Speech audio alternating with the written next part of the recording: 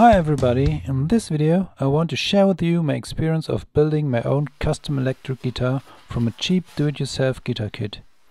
Let's start by looking at the kit. The body consists of three parts of a soft wood. The manufacturer says it's Rangas. It has a lot of pores that have to be filled up and the contour is not shaped carefully. The hardware is not the best too, but I'm going to give it a try. The neck is maple, it looks straight and I don't mind the dark spot on the back.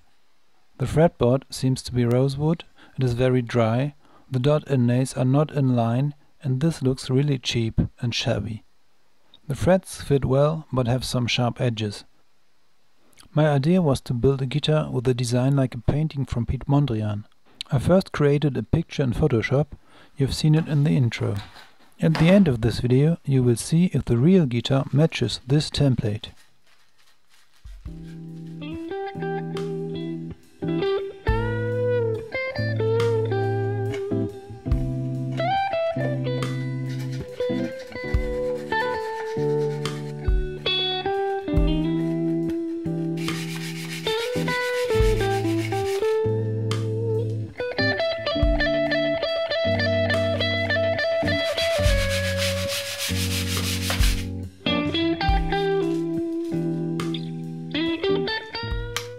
Pre-drilled holes were not set properly, so I decided to plug them with toothpicks. The manufacturer told me that the body had been prepared for painting with a pore filler. I relied on this because I had little experience in painting with spray color, so I did not use any primer.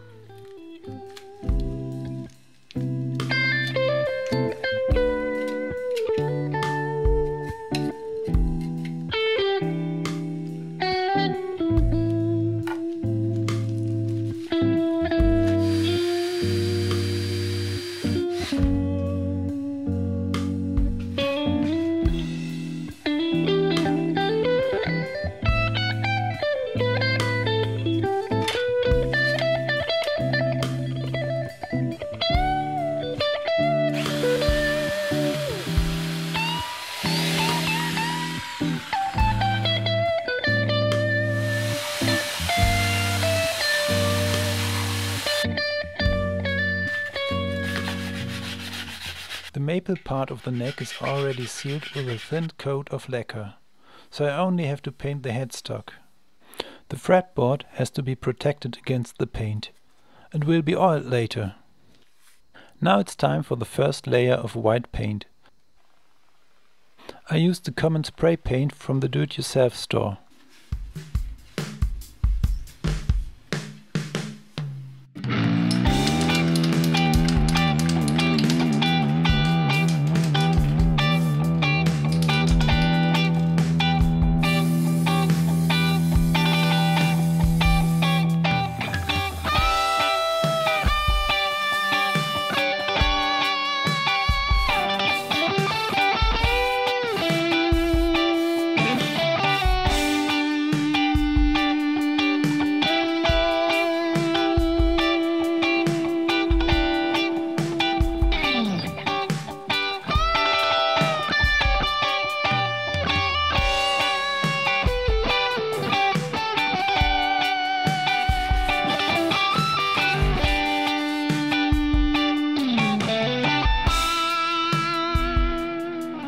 After the first layer of paint, I realized that it would have been better to use a primer before. I had to use much paint because the wood sucked up a lot of it. Even at the end you will still recognize the pores.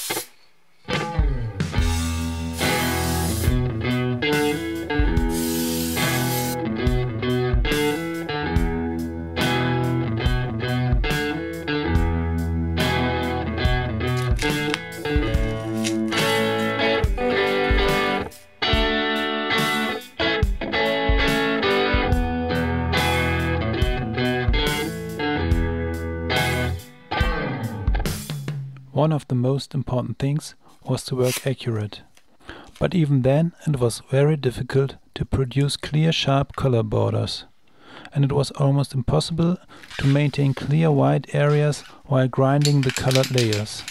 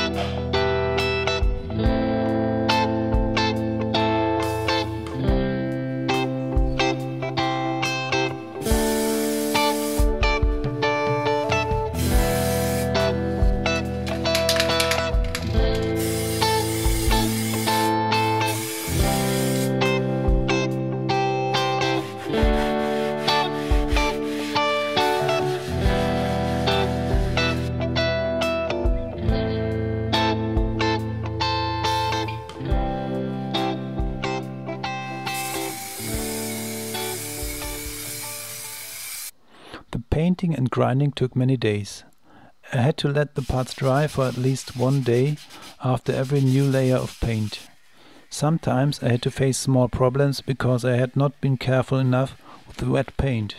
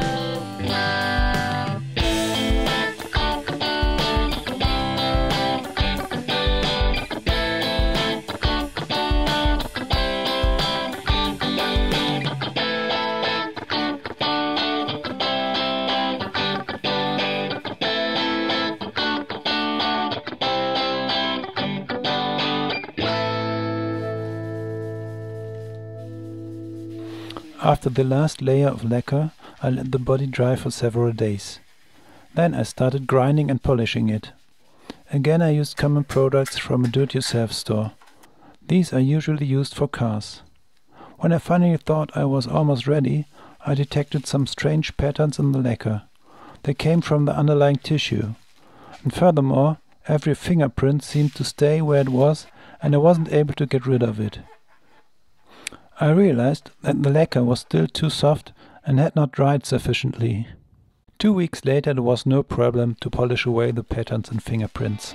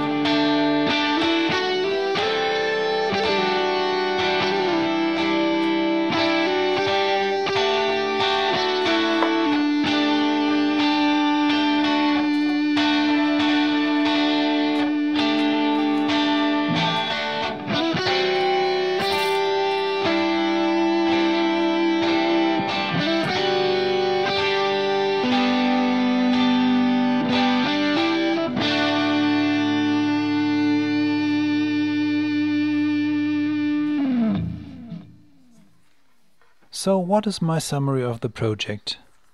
It was a lot of work, but I definitely would do it again. My guitar can surely not be compared to a professional custom shop guitar or even a good standard guitar. At the end it's a cheap kit guitar. But it's playable and it, the look is unique. And uh, what does it sound like? You can hear it at the end of the video when I played with my small battery amp but you have already heard it in the backing of this video. I recorded all tracks with this guitar as it was when I finished it. I even used the strings from the kit and those were definitely not the best. However, The sound is not wow, but okay.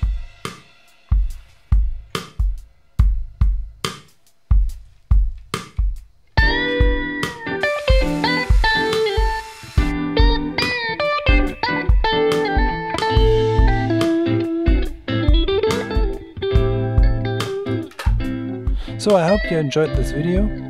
Have a good time.